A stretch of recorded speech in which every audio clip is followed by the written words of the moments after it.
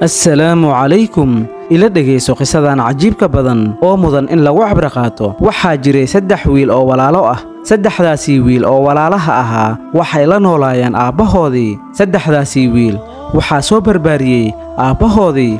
Hooyadoodii iyaga oo aad u daayar ayay geeriyootay. Aabbahoodii waa uu ku dadaalay sidii uu ku barbaarin lahaa oo ay ku noqon lahaayeen dad waaweyn. In muddo ah ayuu la soo dagaalamayey si xoog badan iyo juhdi badan ayuu ku soo barbaariyey carruurtiisii in muddo ah ayuu barbaarinayey markii ay weynaadeen oo ay noqdeen dad qaangaar ah. Aabbahoodii ayaa maalin maalmaha ka mid ah u tagay waxa uuna u sheegay carruurtiisii in ay weynaadeen waxa uuna ka codsaday inuu u guuriyo. Saddexdoodiiba waxa uuna ka ballan qaaday inuu siinayo qasri ay ku noolaadaan. Intii ay nool yihiin noloshoodii waxa ay ku noolaan lahaayeen. Ballantaasi ayuu ka qaaday aabbahoodii saddexdii wiil oo walaalaha ahaa arrinkii aabbahooda u soo bandhigay waa ay ku farxeen? Waa ayna oggolaadeen aabbahoodii saddexdii wiilba waa uu u guuriyey. Hal guri ayay ku wada noolaayeen. Saddexdaasii wiil oo walaalaha ahaa iyo saddexdoodii xaasba aabbahoodiina waa ula noolaa. Hal qasri ayay ku wada noolaayeen. In muddo ah ayay wada noolaayeen. Balse aabbahoodii waxa uu noqday qof aad u da'weyn. Da'dii ayaana ka daba timid. Waxa uuna noqday qof waayeel ah sidoo kale aabbahoodii maadaama ay da'diisu aad u weynaatay waxa uu noqday qof miirka ka taga mararka qaar mararka qaarna miirkiisa u yimaada. Heer uu gaaro inuu ka lumo gurigiisii maalmaha qaar waa uu ka lumi jiray guriga. Sidoo kale saddexdii gabdhood oo ilmihiisu ay qabeen aabbahaasii da'da ah sidii ay u xanaanaynayeen ay ula daalaadhacayeen waa ay ka daaleen xanaanadiisii. Waa ayna dhibsadeen in ay xanaaneeyaan odaygaasi waayeelka ah. Maalin maalmaha ka mid ah saddexdii gabdhood ayaa tashaday waxayna u tageen nimankoodii waxayna u sheegeen aabbahoodii inuu aad u da'weynaaday xanaanadiisuna ay dhib tahay. Waxayna u sheegeen in ay jirto meel lagu xanaaneeyo waayeelada. Meeshaasi in ay geeyaan ayay u sheegeen balse labo ka mid ah waa ay oggolaadeen balse wiilkii coradka ahaa ayaa ka diiday in la geeyo aabbihiisa meelaha waayeelada lagu xanaaneeyo. Waxa uuna u sheegay aabbahoodii in uu dhib badan la soo maray oo uu soo barbaariyey ilaa heerkaani ay ka soo gaareen isagu garabkiisa taagnaa xitaa hooyadeennii in ay geeriyootay iyaga oo aad u daayar heerkaani uu soo gaarsiiyey aabbahoodii. Waxa uuna u sheegay in uusan marna ka aqbalaynin in la geeyo aabbihiisa meelaha lagu xanaaneeyo dadka waayeelada ah. Balse saddexdii gabdhood iyo labadii wiil waa ay tashadeen in muddo ah ayay ku noqnoqonayeen walaalkoodii ka weynaa.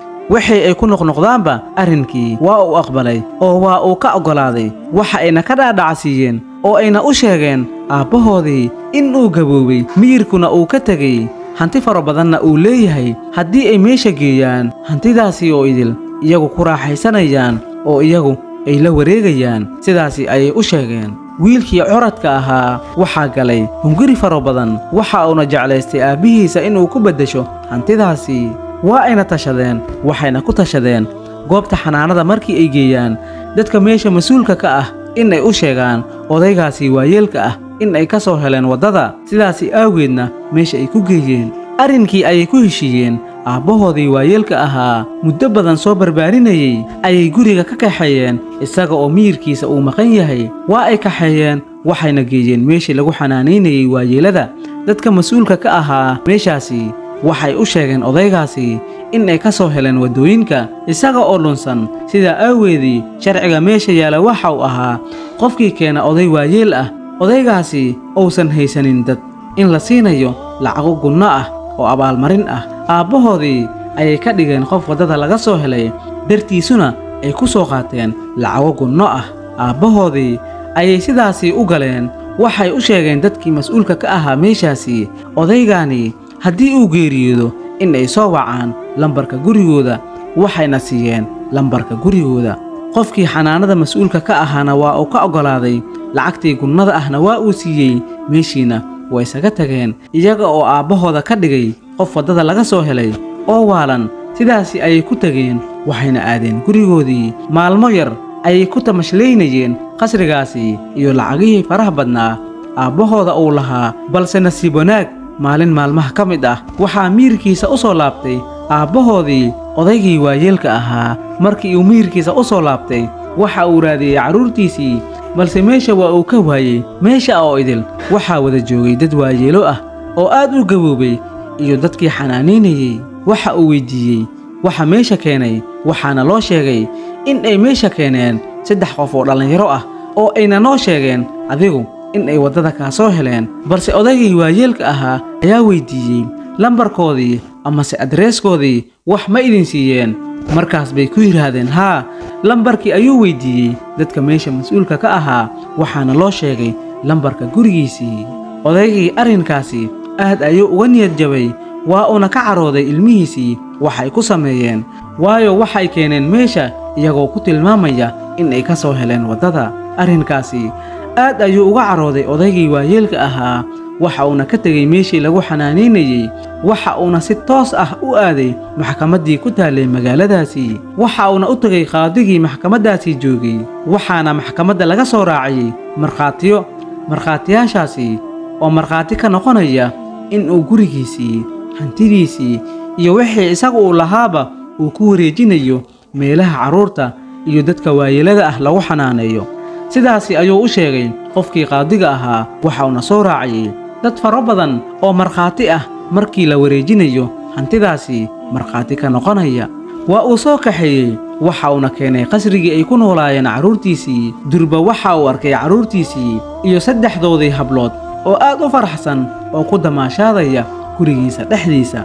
Odaygii markii uu arkay wejiyada carruurtiisa oo aad u faraxsan aad ayuu u xanaaqay waa uuna carooday waxa uuna kor u taagay gacmihiisii waxa uuna alle ka baryey carruurtiisii in maalinta qiyaamaha oo ilaahay tuso iyaga oo wejigooda dab ka kacaya oo holcaya inuu ilaahay tuso ayuu alle ka baryey saddexdii wiil markii ay arkeen habaarka aabbahoodii aad ayay ula yaabeen balse waxay la sii yaabeen markii ay albaabka ka soo galeen dad badan oo ka socda maxkamadda kuwaasi oo markhaati ka noqonaya hantida marka lagu wareejinayo meelaha lagu xanaaneeyo carruurta iyo dadka waayeelada ah aabbihii ayaa isugu yeeraya carruurtiisii sidoo kale waxa uu meesha keenay dadkii markhaatiyaasha ahaa.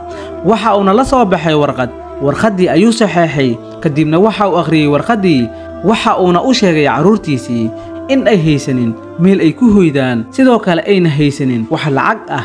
Hantidii oo idil uu ku wareejiyey meelaha lagu xanaaneeyo. Carruurta iyo dadka waayeelada ah. Ilmihii ayaa waaga ku baryey waayo iyagu waxba ma haysanin kumana jirin qof shaqaysanaya maalintii ay dhasheen ilaa ay ka noqdaan dad xaaslayaal ah waxay ku noolaayeen hantida aabbahoodii iyo qasriga aabbahoodii. Dhaladu waa ay ka wareertay waxayna la yaabeen oo ay la murugoodeen meeshii ay wejiga aadin lahaayeen. Aabbahoodii aad ayuu u carooday markii uu ka jeestay wejiga ilmihiisa uuna dhabarka soo aadiyey aabbahoodii joogga ayuu ka dhacay waayo waxa uu ahaa qof waayeel ah waxa uu ka danqanayey dhibaatada ay mari doonaan carruurtiisa balse waxaa ka tanbadiyey carada oo u qabo. Carruurtiisa sidaasi aaweedii qalbigiisa welwel faro badan ayaa ku furmay. Odaygii waayeelka ahaana joogga ayuu ka dhacay nafna dhulka ulama dhicin. Markii dadka meesha isugu yimid ay u soo carareen odaygii waxay arkeen in uu geeriyooday uuna u geeriyooday caro uu u qabay carruurtiisa maadaama ay ula dhaqmeen si anshax daro ah oo aad u liidata arrinkaasi aawgeeda ayuu u geeriyooday aabbahoodii balse aaska aabbahoodii waxaa si wanaagsan ugu qayb qaatay dadkii mas'uulka ka ahaa meelaha lagu xanaaneeyo carruurta iyo dadka waayeelada ah. Si wanaagsan oo qiimo badan oo sharaf badan ayay u aaseen aabbahoodii iyagu indhaha ayay ka daawanayeen. Aas wanaagsan ayaa loo sameeyey aabbahoodii si wanaag badanna waa loo aasay balse aabbahoodii markii la soo aasay waxaana loo sheegay in ay firaaqayaan guriga waayo gurigaasi aabbahoodii inuu ku wareejiyey dadka carruurta xanaaneeya iyo waayeelada xanaaneeya inuu ku wareejiyey. Ayaa loo sheegay ilmihii gurigii ayay ka tageen iyaga iyo xaasaskoodiiba iyaga oo faro maran arrinkii aabbahoodii ay ku sameeyeen iyaga ayuu ku soo laabtay waxay isku beddeleen. Iyaga iyo xaasaskoodiiba dad masaakiin ah oo waddooyinka dawarsada sidaasi awgeedii waxaa la doonayaa in aan iska ilaalino oo aan ka taxdarno. Waayo sida diinteennuba ay sheegtay in lagu caasiyo waalidiinta in ay ka mid tahay dembiyada ugu waaweyn oo uu galo qof muslim ah. Sidoo kale allaweyne jalla wacalaa waxa uu qur'aankiisa ku sheegay waalidiinta in loo naxariisto sida iyaguba ay ugu naxariistaan carruurtoodii markii ay yaryar yihiin iyaguna markii ay gaboobaan in loo naxariisto ayuu allaweyne jalla wacalaa qur'aankiisa ku sheegay. Sidoo kale allaweyne jalla wacalaa waxa uu qur'aankiisa ku sheegay waalidiinta in loo ixsaan sameeyo. Si wanaag ku jirana loogu naxariisto taasi waxaa lagu mutaysanayaa janno. Haddii waalidkaadii aad ku caasidid waxaad ku mutaysanaysaa naar.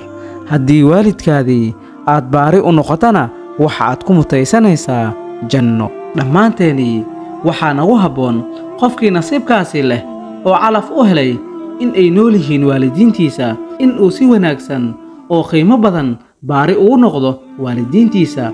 Naxariis faro badanna ay u muujiyaan qisadii yaraydna inta haynoo joogto. Walaalaha ku xidhan janalka abdixakiin buruu fideogan haddaad ka hesheen waxaan idinka codsanaynaa. Janalka inaad noo laay garaysaan aad sheer garaysaan sabaskraabna aad dhahdaan mahadsanidiin assalaamu calaykum waraxmatullaahi wabarakaatu